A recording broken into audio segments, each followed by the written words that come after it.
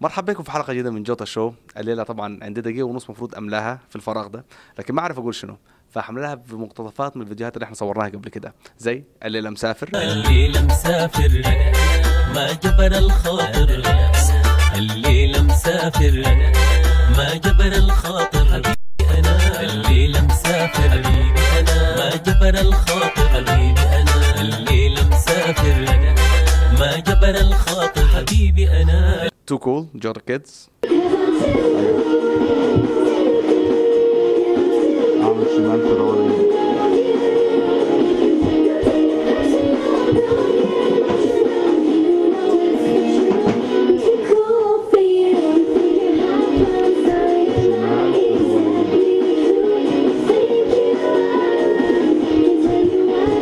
حلتنا مع بيج مو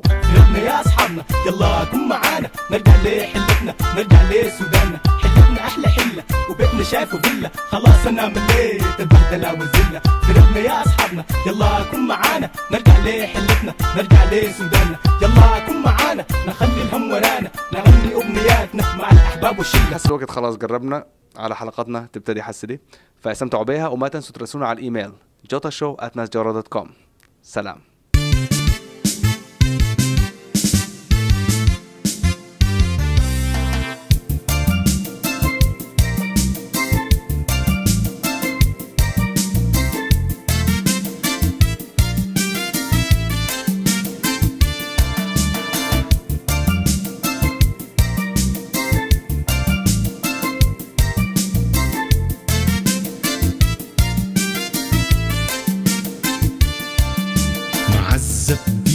قلب الصحاري وساكن شوك ورد المكان. يضحك الإلفة والغم يا باري وما كتف في الزمن اللي خان. ما نسى ولا قسى تسوق الشمس طرف العصاري لعله يلاقي بر الأمان. قصرا ولا تحت الكباري براه النوح وفي همه كان. ما نسى ولا قسى رافع الحرية صاري وما هم وجود الزمان.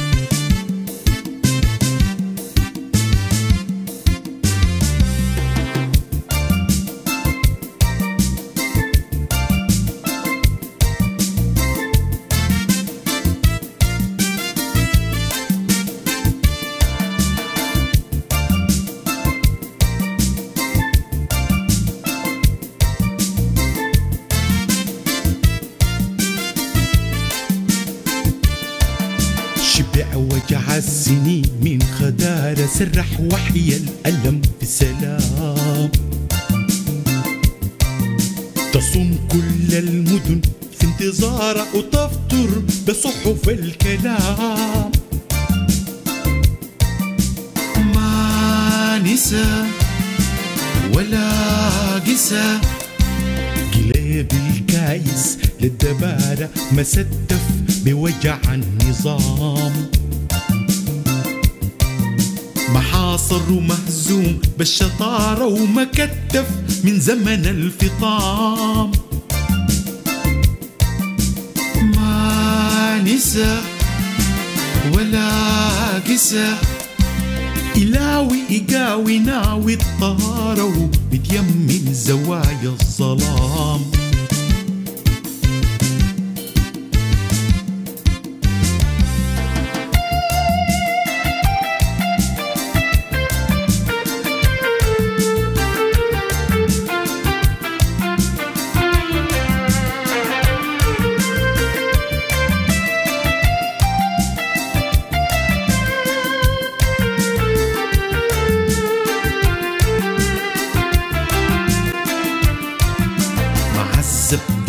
قلب الصحاري وساكن شوك ورد المكان.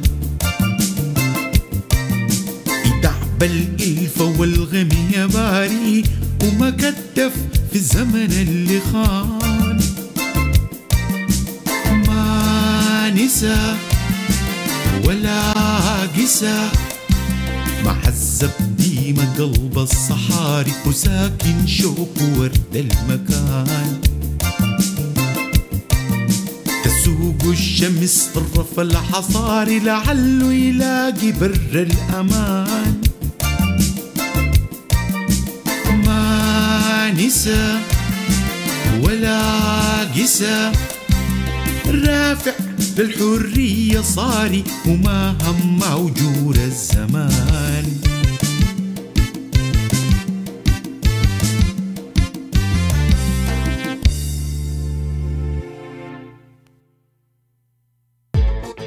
مرحبا بكم في حلقة جديدة من جوتا شو. الليلة معانا فنانة نادر السوداني.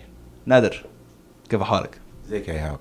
الحمد لله كله تمام؟ أنا ما حاول أديك المايك كده كل شوية فأنت لازم تساعدني شوية يعني. طيب يعني نعمل يعني. المايك يعني يعني- يعني يعني أنتوا اذا الجوتا شو عندهم مشاكل عادي. جيب ميكروفونين يعني حتى في بخيل في الميكروفونات. هتدفع أنت؟ هتدفع أنت؟ شايف قال why هديك أنا المايك حسي وأنت احكي لنا عنك. أنا حابب أسألك. آه نادر السوداني الاسم ده جاي من وين بالضبط؟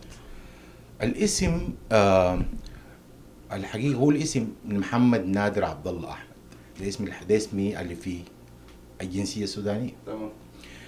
فعملت فرقة اسمها فرقة السودانيين وكانت دي بداية لتطوير الأغنية السودانية. سنه كم الكلام ده؟ الكلام ده كان تقريبا سنة آه، و- 79 78 started وقبلها كانت أصلا في ديفيد group بعد كده أما نحن المجموعة كلها كانت دارسة درست الموسيقى يعني فاتجهنا لتطوير الأغنية السودانية. طيب دي سؤال بس. قبل قبل ما نمشي للحاجة دي دايرين نعرف تاريخ يعني نادر ابتدى الموسيقى من عنده كم سنة؟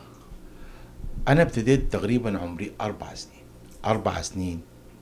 وكان آه، والوالد الله يرحمه عنده آه، آه، عنده محل بتاع بيع اللعب في شارع السوق العربي في الخرطوم فكنت دائما أستخبى جوا المخزن وأشيل جيتار صغير.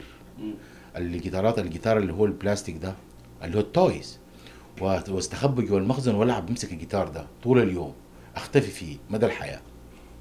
لحد لا من أنا لقيت real guitar real guitar. آه واحد كان قولي شايل في ماشي في الشارع وأنا كان عندي transistor radio. فحصل trading إنه يديني جيتار وياخد الترانزستور ومعاه جنيه. بدلته كمان. yes كان جنيه زيادة absolutely والجيتار كمان كان فيه وتر واحد وما فيهوش fine tune يعني وتر واحد وم- ومن يعني يعني هو الأمنية كان إنه يكون عندي جيتار ف ما لعبه لكن ده كان ده حقيقي. حقيقي يعني. فده كان ابتديت بقى اصلح واشت- مشيت لي محل اسمه محل آه غريب الله. ده شارع الجمهوريه لا ده في مدرمان وبعدين المحل ده كان محل هو غريب عم غريب عم غريب الله ده راجل مصري أصلا. وكان بيجيب عود ورق وحاجات واكسسوارات للجيتار وللآلات الشرقية. أيوه. فمشيت لقيت عنده الطقم بتاع ال- الأوتار والمفاتيح وال set.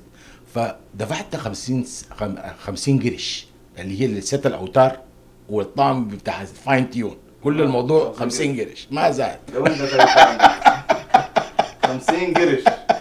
يعني ده بي... يعني ده بيورينا مدى قدم نادر السوداني عنده كم سنة. وفي الأول ما كان عايز يقول لنا سنه كم لكن حاسس إحنا بنقدر نعرف بالطريقة دي. ال- ال- ال- المشكلة المشكلة المشكلة ما مش في ال- في ال 50 قرش المشكلة في إنه أنا تربيت في أسرة متدينة جدا. وكانوا أهلي ال- يعني الأهل بيعتبروا إنه الم- إنه الموسيقى دي عيب. و- وتلعب تلعب جيتار وتشتغل مع فرق وتمشي تلعب في night club آه no لا لا لا انت تتعلم موسيقى بس في البيت وكده. فابتدت الأزمة هنا ف... فما ما في ما في مساعدة مع إنه والدي الله يرحمه كان عازف متمكن جدا لآلة الكمان والعود. وعائلته كلهم لكن كانوا ما بيعتبروا الموسيقى بس في حدود جوا البيت. يعني حكايه انك تمشي نايت كلاب دي بالنسبة لهم دي كارثة. لغايه حسي لغايه حسي فالمهم المشكلة ما كان في ال 50 قرش المشكلة ال 50 قرش زاد أطلعها كيف عشان أمشي أجيب الحاجة دي. ثروة كان. فابتديت أحوش من قروش المصروف الفطور. ده كان كم؟ اللي هو كنت باخذ 25 قرش في اليوم. في اليوم؟ في اليوم. عشان إنه ال 25 ده أتصرف أعيش بها حياتي يعني. اكل مواصلات. وفي ظرف خمس أربع سنين يعني في العمر ذاك يعني. فلميت يومين ما فيش أي حاجة لحد ما بقى عندي 50 قرش بالفعل. فمشيت لعم غريب الله واشتريت منه الأوتار وكان أول أوتار وأول طقم وأول ظبطه ظبط ظبط ظبط العود ال- الجيتار. ظبطوا لي زي العود زي ما بظبطوا العود. آه. فما في واحد بيعزف جيتار. فالحكايه بقت ملخبطة جدا. وبعد كده ابتدت الفكرة بتاعت إنه عندي أولاد أهلنا كتير جدا فبسافروا برا. فبيجيبوا معاهم أسطوانات للبيتلز توم جونز فالبيت كان مليان بال vinyl آه سانتانا. فابتديت ابتدوا عشان هم يعني يعني يكفوا شري فبقوموا من هم يسافروا في الإجازة بيدوني الاسطوانات دي أحتفظ بها عشان طبعا هم عارفين لو خدتها حتة ثانية حاشيلها برضه. فبقوموا ليه نادر؟ لو انت حنمسكك أمانة. الاسطوانات دي تحت مسؤوليتك لحد ما نرجع وين حنجيب لك اللي أنت عاوزه. فابتدت أول حاجة أحفظ الأغاني. بديت أحفظ أغاني البيتلز من غير ما أفهم اللغة. يعني سؤال يعني أنت كنت قاعد بتسمع الكلام وقاعد تعزفها وسماعي الموسيقى ولا بس الكلام؟ بسمع ال- ال- ال- الأغنية وأروح آه، يعني سماعي وأحفظها. أحفظها عن ظهر قلب لو سألتني قلت لي الكلمة دي معناتها إيه؟ I don't know لكن أنا حافظها صم زي ما حاول how they pronounce أيوة. exactly وأحاول أطلع على قدر إمكانياتي في الفترة إنه ألعب ال chord progressions اللي أنا سامعه اللي هي الأغاني جابته يعني. أيوه. فابتدت أول فرقة تتكون عملت فرقة في مركز شباب مندرومان الكلام ده كان في أواخر السبعينات. وبعد كده كونت فرقة اسمها ديفيد جروب أيوه. وبعد كده كونا فرقة اسمها الكريسيدرز وبعد كده ابتدت مراحل كثيرة جدا يعني مرحلة المعهد الدراسة والدراسة بجد serious serious study يعني بقى professional يعني قلت لأهلك أنت تقدر تمشي تدرس موسيقى. وقالوا لي لا إحنا حنسرس لك أي حتة تتعلم. قلت لهم برضه لو مشيت أي حتة هتتعلم. موسيقى يعني الاصرار ولا فاللي حصل إنه أقنعتهم. طبعا ده ضاعت مني سنتين للتقديم يعني. فقدمنا المعهد وقبلته وكده. وابتدت المرحلة الجديدة اللي هي تكوين فرقة السودانيين لغرض إنه السودانيين اتعملت لتطوير الأغنية السودانية. والفرقة دي لاقت مشاكل فظيعة جدا لأنه المجتمع في الفترة دي كان يعني كان راقي جدا. ون- والناس كانوا بيحبوا الأغاني الغربية بشكل ما تتخيل يعني فوق الوصف.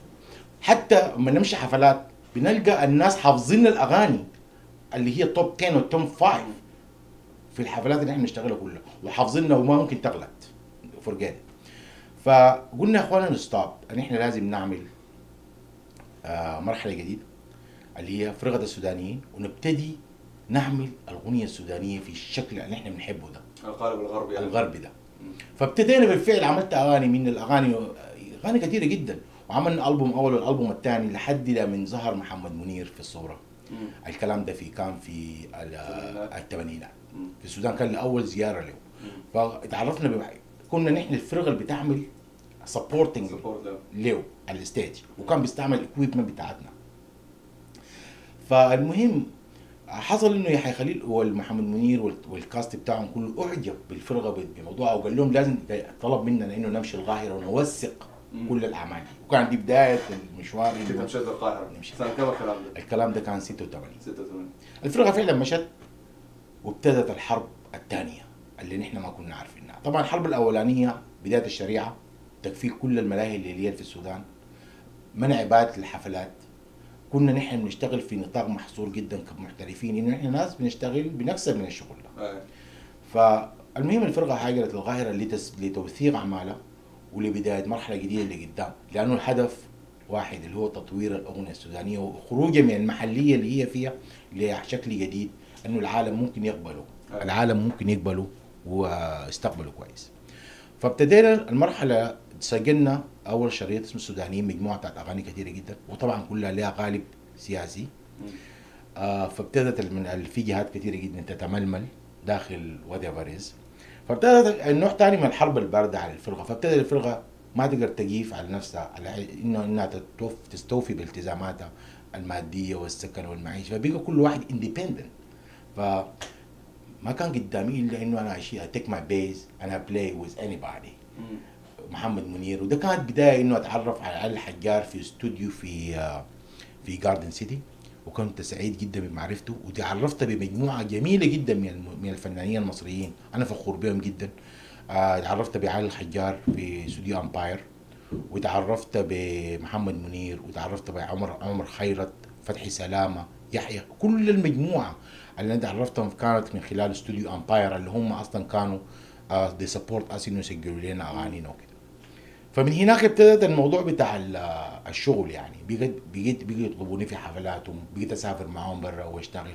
وكنت إنه الموضوع إنه أنا أشتغل وأوفر قروش على أساس إنه أبتدي أدفع لأنه ما في حاجة بتتعمل مجانا. صح.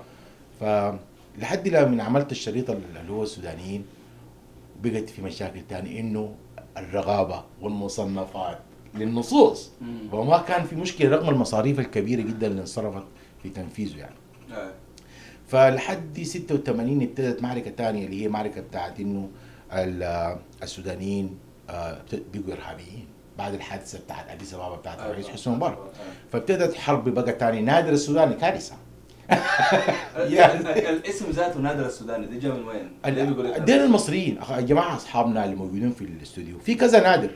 فالجماعه يقول لك روح اتصل بنادر السوداني. يقولوا نادر من نادر السوداني يا ابني. بس يعرفوك انت أيوه ما في كذا نادر مهندس صوت نادر whatever فابتدى فرقة السودانيين في نادر السوداني. ف... فبقى الاسم بالنسبة لهم سهل.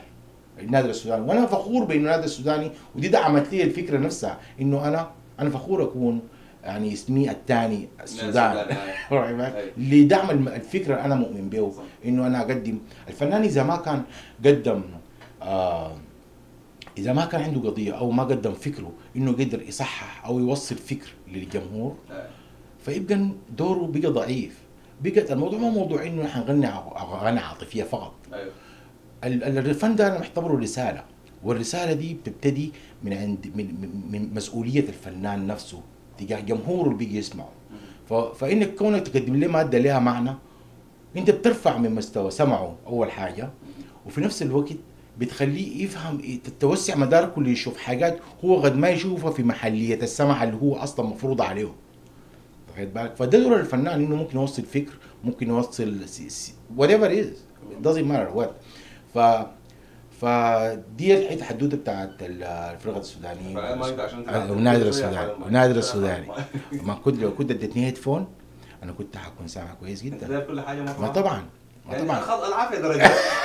واحدة واحدة. مش كويس الحمد لله عملنا جوده جوده يجي منها. يعني كمان ده آه ف الكلام ده حنخليه في البرامج ما حنشيله. okay. ف دقيقتين. okay دقيقتين.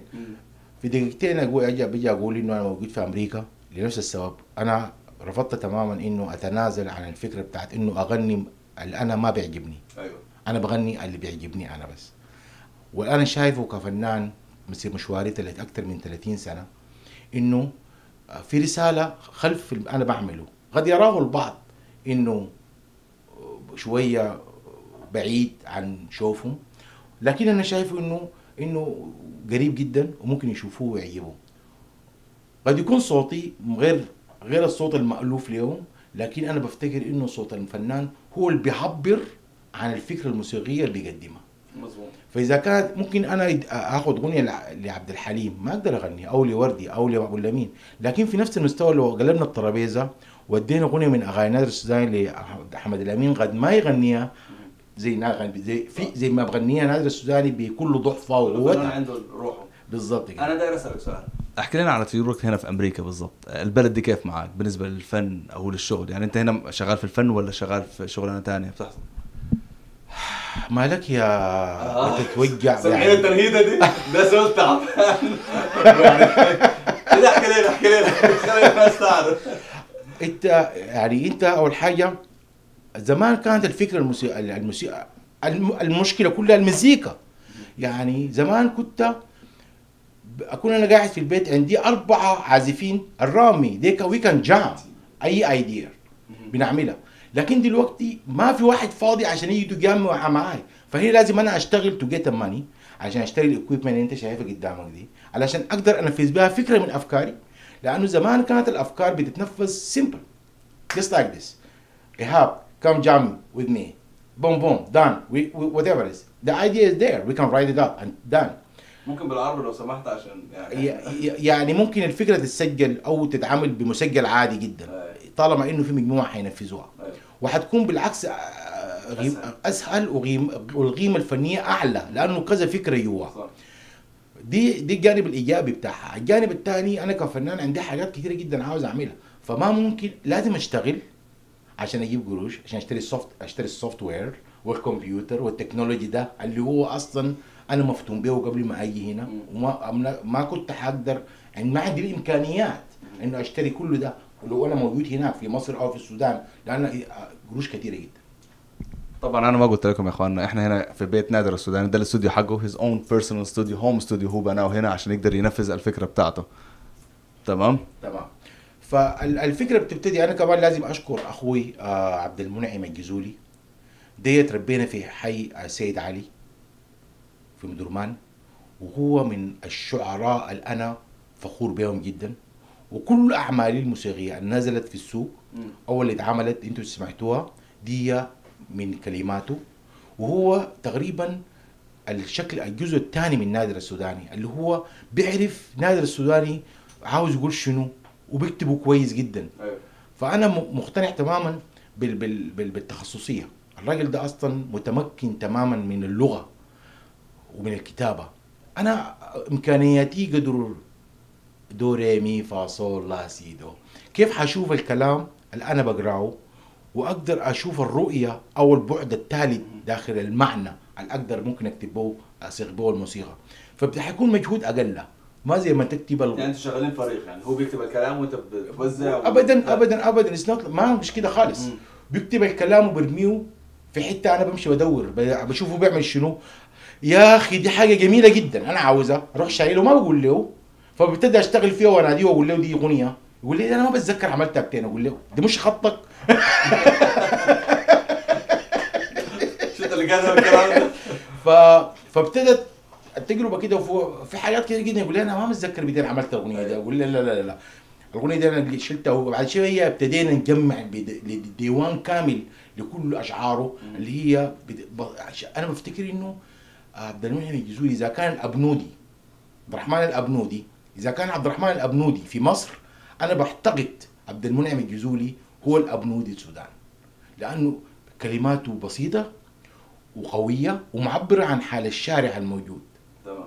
إذا كانت في كل المجالات. لا تمام جدا. طيب. آه شون عندنا كم دقيقة حس آه how many minutes we got? So left Um, you're at 15. I 15 mean, you're you're you got 15 left. out of 15 minutes left. So Okay, you, good. You've used 17. بس كنا بنتكلم مع شوية technical stuff معلش يا اخوانا نرجع لل interview بتاعنا حسي نادر آه إحنا بس آه دارين نعرف أمريكا دي بالنسبة لك كفنان okay إحنا عرفنا إن أنت لازم تشتغل وكده لكن هل في طريقة إنك أنت تقدر توري الموسيقى السودانية هنا في أمريكا للأمريكان absolutely ده حلم بتمناه أي فنان serious كنت بتمنى إن أنا اقف أجيب في أكبر مسارح أمريكا لأنه الفكرة أصلا توصيل الموضوع ده. لكن طالما في جهات ما من مصلحتها النادي السوداني يجيب في المسارح دي حتبتدي حاجات تانية كلنا عارفينها إنه تعتيم حجم النادي السوداني داخل كل المحافل والمهرجانات اللي أقيمت واللي حتقام لنفس السبب إنه أنا ما حغني غير الموضوع اللي أنا بغني فيه اللي هو أنا مقتنع به. ف فهنا بتبتدي مشكلة تانية. دي المشكلة الأولانية. المشكلة الثانية اللي هي إنه كيف أوقف على خشبة المسرح ده؟ وفي نفس الوقت مطلوب مني حاجات كثيره جدا إنه أعملها.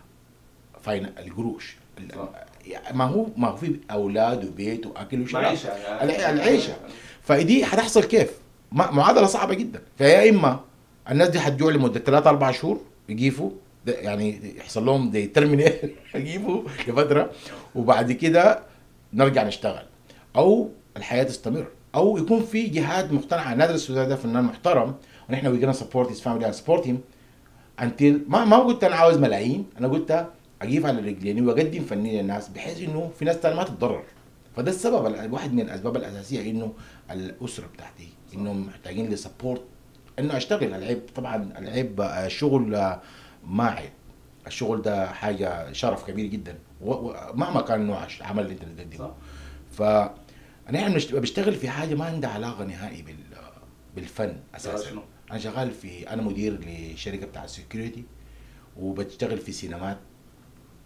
فده بيساعدني كدخل إنه أساعد أسرتي واوفر كل الإمكانيات اللي هي تساعدني إنه أنا أقدر أوصل. الفن بتاعي.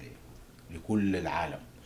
ف إذا وقفت يوم معناتها حيحصل مشكلة. إذا وقفت أسبوع حيحصل مشكلتين.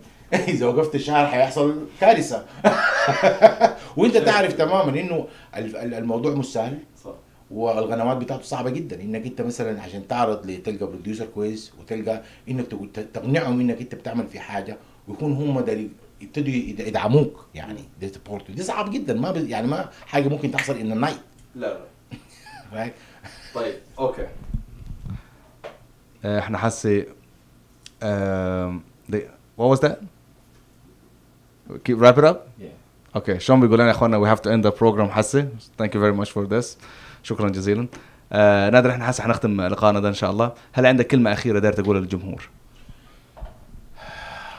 أنا بقول حاجة. بقول للجمهور. أنا بقول للجمهور بتاعي أو الجمهور الناس اللي بتعرف نادر السوداني إذا كانوا في القاهرة أو موجودين في الوطن العربي أو موجودين في السودان إنهم نادر السوداني لسه موجود وبيشتغل تقريبا بمعدل 8 ساعات في اليوم من بتوين تمارين بروفات تجهيز. وأنا متأكد إنه هتجي لحظة أنا ما أقدر أكون فيها ما جاهز. أنا جاهز في أي وقت. لأي و... لأي مهرجان يمثل السودان ويقدم الفن السوداني حتى لو كان بوستين لقدام. هل عندك إيميل أو website الناس تقدر تمشي لك؟ يعني تعرف ما عندك معلومات أكثر في عندي الإيميل بتاعي آه ال website أنا شغال في واحد لسه ما خلص لكن الإيميل بتاعي نادر السوداني at yahoo.com إن شاء الله. حتلاقوه مكتوب تحت هنا على الشاشة تحت هنا شايفين؟ هتلاقوه مكتوب؟ طيب. نادر شكرا جزيلا. وأتمنى لك التوفيق إن شاء الله. و أظن خلصنا على كده. سلام.